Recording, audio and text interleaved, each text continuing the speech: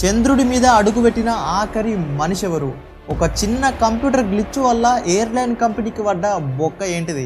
ఇప్పటిదాకా మనుషులకు దొరికిన బంగారం కొండ బరువెంత ఇవే కాదు ఇంకా ఇట్లాంటి మస్తు ఇంట్రెస్టింగ్ ఫ్యాక్ట్స్ ఈ వీడియోలో మీకు చెప్తా. ఒక చిన్న రిక్వెస్ట్ ఏంటంటే వీడియోను స్కిప్ చేయకుండా లాస్ట్ దాకా మొత్తం చూడండి. నచ్చిందంటే ఒక లైక్ వేసుకోండి. ఫ్యాక్ట్ నంబర్ వన్ మీకు కాఫీ అంటే ఇష్టమా?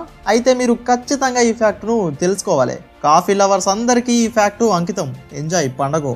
ఈ ప్రపంచంలోనే మోస్ట్ ఎక్స్పెన్సివ్ కాఫీ గురించి ఇప్పుడు మీకు చెప్తా. దాని పేరు కోపీ లువాక్. మీరు నిజంగానే కాఫీకి డై హార్డ్ ఫ్యాన్ అయితే ఖచ్చితంగా దీన్ని ట్రై చేయాలి. కానీ అంతకంటే ముందు దీన్ని ఎట్లా తయారు చేస్తారో తెలవాలి. ఛాన్స్ ఉంటే మీరు దీన్ని తాగుతారా? తాగుదాం. ఇదే మాట మీద లాస్ట్ దాకా ఉంటారు కదా? సరే ఈ వాల్స్ మోస్ట్ ఎక్స్పెన్సివ్ కాఫీని ఎట్లా తయారు చేస్తారంటే ఇండోనేషియాలో ఉన్న పామ్ సివెట్ అనే జంతువు పూపుతోని ఈ కాఫీ లువాకు కాఫీని తయారు చేస్తారు. ఏం మాట్లాడుతున్నావురా? నరాలు కట్ అయిపోయింది ఇది నిజమే. ఇండోనేషియాలో పామ్ సివెట్ జంతువులకు కాఫీ చెర్రీస్ను తినిపించి తర్వాత దాని లోపల నుంచి వచ్చే వేస్ట్లో ఉన్న కాఫీ బీన్స్ తోని ఈ కాఫీని తయారు చేస్తారు. అట్లెందుకంటే సివెట్ జంతువులు కాఫీ చెర్రీస్ను తిన్నాక ఆ గింజలు కడుపు లోపలికి పొయ్యి లోపల ఉన్న ఎంజైమ్స్తోని కలిసి ఫెర్మెంటెడ్ అయ్యి ఒక కొత్త రకమైన వాసన రుచితోని బయటకు వస్తాయి ఆ వచ్చిన కాఫీ బీన్స్ను ప్రాసెస్ చేసి మోస్ట్ ఎక్స్పెన్సివ్ కాఫీని తయారు చేస్తున్నారు. మన ఏషియాలో ఉన్న కొన్ని కంట్రీస్లో ఈ కాఫీ మస్తు ఫేమస్. ఇప్పుడు ఒక కిలో కాఫీ బీన్స్ రేటు పదమూడు వందల డాలర్స్. అంటే ఇప్పుడు ప్రజెంట్ మన ఇండియన్ కరెన్సీలా ఒక లక్ష రూపాయలు. అన్ని పైసలు పెడితే టేస్ట్ ఒక రేంజ్లో ఉంటదేమో అనుకునేరు. కొంచెం తేడాగానే ఉంటది. ఇప్పుడు చెప్పుండి మీరు దీన్ని తాగుతారా? ఇంతకు ఈ విచిత్రమైన కాఫీని తయారు చేయాలనే ఐడియా ఎవరికి వచ్చిందంటే నైన్టీన్త్ సెంచరీలో ఇండోనేషియాకు కాఫీ ప్లాంటేషన్ కోసం వచ్చిన డచ్ వాళ్ళకు ఈ సివెట్ జంతువులు తిన్నాక వచ్చిన వేస్ట్ని చూసి ఫస్ట్ వాళ్ళు షాక్ అయ్యారు. తర్వాత ఆగలేక ఆపుకోలేక ఆ వేస్ట్ లోపల ఉన్న కాఫీ బీన్స్ తీసుకొని కాఫీని తయారు చేసిర్రు. దాన్ని ఇప్పుడు కోపి లువాక్ అంటున్నారు. ఇది సంగతి. మనోళ్ళు ఎవరన్నా ఈ కాఫీని తాగితే టేస్ట్ ఎట్లుంటుందో కింద ఖచ్చితంగా కామెంట్ చేయండి. ఉంది. Fact number two.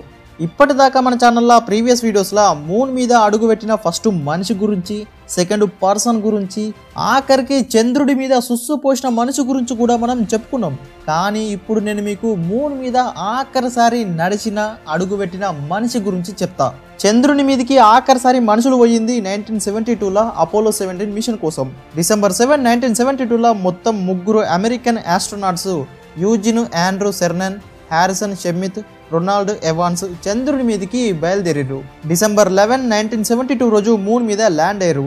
Andrew Cernan Harrison Schmitt చంద్రుని మీకి దిగి ఇరవై రెండు గంటల పాటు అవసరమైన రీసెర్చ్ని కంప్లీట్ చేసిరు December twelve nineteen seventy two రోజు భూమి మీదకి return రానికే first Harrison Schmitt lunar module ఎక్కిండు.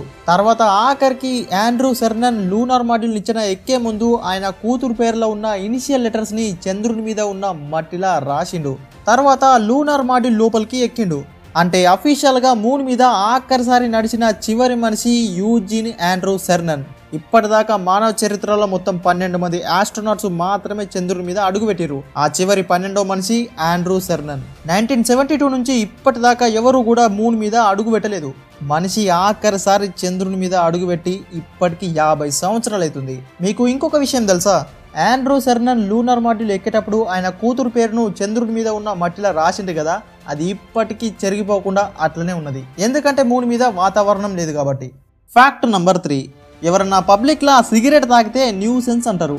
అదే ఒక జంతువు సిగరెట్ తాగితే దాన్నే న్యూస్ అంటారు. మన కిమ్ కాకుల దేశం నార్త్ కొరియాలో టూ థౌజండ్ సిక్స్టీన్లో ప్యాంగ్యాంగ్ సిటీలో కొత్తగా ఒక జూని స్టార్ట్ చేసిర్రు. పబ్లిసిటీ అయ్యి మస్తు ఎక్కువ మంది విజిటర్స్ రావాలంటే ఏదో ఒకటి కొత్తగా చెయ్యాలి కదా. అందుకనే జూ ట్రైనర్స్ అజేలియా అనే ఆడ చింపాంజీకి సిగరెట్లను ఎట్లా తాగాలనో నేర్పించిరు టూరిస్టులకు విజిటర్స్కి చింపాంజీ సిగరెట్ తాగుతుందని తెలిసి అజేలియాను చూడనీకే మస్తు ఎక్కువ మంది జనాలు వస్తుండే కొన్ని రోజులలోనే ఈ చింపాంజీ మేడం గారు ప్రొఫెషనల్ స్మోకర్ అయిపోయింది. జూ ట్రైనర్స్ కూడా సిగరెట్స్ ఇచ్చి కమాన్ కమాన్ అని ఎంకరేజ్ చేస్తుండే. ఈ చింపాంజీ ఖాళీగా ఉండకుండా రోజుకు ప్యాకెట్ సిగరెట్స్ను ఖతం కథం చేస్తుండే. సొంతంగా సిగరెట్ను లైటర్తోని ఎట్లా వెలిగించుకోవాలనో కూడా నేర్చుకుంది. ఈ చింపు మేడం స్మోకింగ్లో ఎంత ఎక్స్పర్ట్ అయిందంటే ఒక సిగరెట్తోని ఇంకో సిగరెట్ను అంటించుకొని తాగుతుండే. దాన్ని చూసి జనాలందరూ వావ్ సూపర్ అనుకుంటా ఫోటోలు వీడియోలు తీసుకుంటుండే. మీరు అనుకుంటుండొచ్చు సిగరెట్స్ తాగితే ఆ చింపాంజీ హెల్త్ ఖరాబ్ అయిపోయి ఉండొచ్చని. కానీ అట్లా కాలేదు. అజేలియా సిగరెట్ పొగను మొత్తం లోపలికి పీల్చుకోకుండా నోట్ లోపల నుంచే బయటికి వదిలేస్తుండే. ఇప్పటికీ హెల్దీగానే ఉన్నది. ఇప్పుడు దాని age twenty five years. Fact number four. మనకేదన్నా మూడు లక్షల వాల్యూ ఉన్నది మూడు వేలకే దొరికిందంటే అప్పుడు ఎట్లుంటుంది? ఈ ప్రపంచంలో మనకంటే అదృష్టవంతుడు ఉండడేమో అనిపిస్తుంది కదా? సేమ్ ఇట్లాంటి సిచ్యువేషనే టూ థౌజండ్ సిక్స్లో కొంతమందికి దొరికింది. ఎట్లా అంటే టూ థౌజండ్ సిక్స్ ఏప్రిల్లా ఇటాలియన్ ఎయిర్లైన్ అయిన అలిటాలియాలా టొరంటో నుంచి సైప్రస్కి రౌండ్ ట్రిప్ పోయిరానికే ఫ్లైట్ టికెట్ మూడు వేల తొమ్మిది వందల డాలర్స్. కానీ ఈ కంపెనీకి పెద్ద బొక్కనే పడ్డది. ఎట్లా అంటే ఒక చిన్న కంప్యూటర్ గ్లిచ్ వల్ల టికెట్స్ రిజర్వేషన్ సిస్టమ్కి వచ్చిన టెక్నికల్ ఇష్యూతోని టొరంటో నుంచి సైప్రస్కి మూడు వేల తొమ్మిది వందల డాలర్స్ ఉన్న ఫ్లైట్ టికెట్ రెండు సున్నాలు తీసేసి ముప్పై తొమ్మిది డాలర్స్ మాత్రమే అని చూపించింది.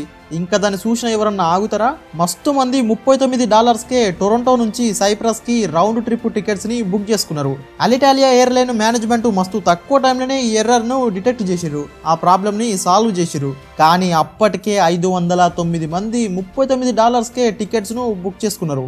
కానీ అలిటాలియా ఎయిర్లైన్స్ ఆ టికెట్స్ని క్యాన్సిల్ చేయలేదు. ఎందుకంటే దాంట్లో ప్యాసింజర్స్ తప్పు ఏం లేదు కదా. అందుకని ఆ ముప్పై తొమ్మిది డాలర్స్కే ఐదు వందల తొమ్మిది మంది ప్యాసింజర్స్ ట్రావెల్ చేయొచ్చని అనౌన్స్ చేసింది. ఒక చిన్న కంప్యూటర్ తప్పు వల్ల అలిటాలియా ఎయిర్లైన్స్ కంపెనీకి రెండు మిలియన్ డాలర్స్ బొక్కబడ్డది. ఫ్రెండ్స్ ఒక చిన్న రిక్వెస్ట్ ఇప్పటిదాకా వీడియోని చూసిరు కదా కానీ ఇంకా లైక్ చేయకపోతే మీరు ఖచ్చితంగా ఇప్పుడే ఒక లైక్ వేసుకోండి. ఎందుకంటే మీరు లైక్ చేస్తేనే ఇంకా ఇట్లాంటి మస్తు మస్తు ఇంట్రెస్టింగ్ వీడియోస్ చేయడానికి నాకు మోటివేషన్ లెక్క అనిపిస్తుంది. అట్లనే యూట్యూబ్ కూడా ఎక్కువ లైక్స్ వస్తేనే కొత్తలకు చూపినీకే ట్రై చేస్తుంది. అందుకని ఖచ్చితంగా లైక్ చేసుకుని మాత్రం మర్చిపోకండి. ఇంకా మస్తు మంది సబ్స్క్రైబ్ చేసుకోలేరు. అందుకని మీరు ఫస్ట్ సబ్స్క్రైబ్ చేసుకుంటే ఇట్లాంటి ఇంట్రెస్టింగ్ వీడియోస్ చేయడానికి నాకు బూస్టప్ లెక్క అనిపిస్తుంది. సరే మరి మనం నెక్స్ట్ ఫ్యాక్ట్ను స్టార్ట్ చేద్దాం. ఫ్యాక్ట్ నంబర్ ఫైవ్ ఫ్రెండ్స్ ఇప్పటిదాకా హిస్టరీలో దొరికిన అతిపెద్ద బంగారం ముక్క గురించి చెప్తా. ఈ గోల్డ్ నగెట్ బరువు ఎంతనో తెలిస్తే మీరు ఖచ్చితంగా షాక్ అవుతారు. అప్పుడప్పుడు గోల్డ్ మైన్స్లో బంగారం కోసం తవ్వుతున్నప్పుడు పెద్ద పెద్ద బంగారం ముక్కలే బయటపడతాయి. సేమ్ దానికి సంబంధించిందే ఇది కూడా. ఎయిటీన్ సిక్స్టీ నైన్లో ఆస్ట్రేలియాలో జాన్ డీసన్ రిచర్డ్ ఓట్స్ అనే ఇద్దరు గోల్డ్ మైనర్స్ బంగారం కోసం సెర్చ్ చేస్తున్నప్పుడు ఆస్ట్రేలియాలో ఉన్న విక్టోరియా స్టేట్లో మోలియాగుల్ అనే ప్లేస్లో బంగారం కోసం లింకుతున్నప్పుడు eighteen sixty nine February fifth రోజు వాళ్ళకు ఒక పెద్ద జాక్పాట్ తగిలింది. ఒక చెట్టు దగ్గర బంగారం కోసం తవ్వుతున్నప్పుడు డెబ్బై రెండు కిలోల ప్యూర్ బంగారం నగెటు బయటపడ్డది. ఒక్కటసారి వాళ్ళ లైఫ్లు మొత్తం చేంజ్ అయిపోయినాయి. London Chartered Bank of Australia ఈ బంగారం ముక్కను అప్పట్లోనే అంటే ఎయిటీన్ సిక్స్టీ నైన్లోనే తొమ్మిది వేల మూడు వందల ఎనభై ఒక పౌండ్స్కు కొనుక్కుంది. అంటే ఇప్పటి value four point five million dollars అంటే మన కరెన్సీలో దగ్గర దగ్గర ముప్పై ఆరు కోట్ల కంటే ఎక్కువ. డీసన్ రిచర్డ్ ఒక్కటేసారి రిచెస్ట్ పర్సన్స్ అయిపోయారు. తర్వాత ఆ బంగారం ముక్కను కరిగించేసిర్రు. కానీ ఇప్పటికీ ఆ గోల్డ్ నగెట్ రెప్లికా విక్టోరియా స్టేట్లో ఉన్న ట్రెజరీ బిల్డింగ్లో ఉంది. ఇప్పటిదాకా హిస్టరీలో దొరికిన అతి పెద్ద బంగారం ముక్క నగెట్ ఇదే. ఫ్రెండ్స్ ఈ వీడియోకి అయితే ఇంతే. వీడియో నచ్చిందంటే ఖచ్చితంగా ఒక లైక్ వేసుకోండి. ఈ టాప్ ఫైవ్ ఫ్యాక్ట్స్లో మీకు ఏది మస్తు ఇంట్రెస్టింగ్ అనిపించిందో కింద కామెంట్ బాక్స్లో ఖచ్చితంగా కామెంట్ చేయండి. సరే మరి నెక్స్ట్ ఇంకొక ఇట్లాంటి ఇంట్రెస్టింగ్ వీడియోలో మళ్ళా కలుద్దాం. అప్పటిదాకా tata bye bye see you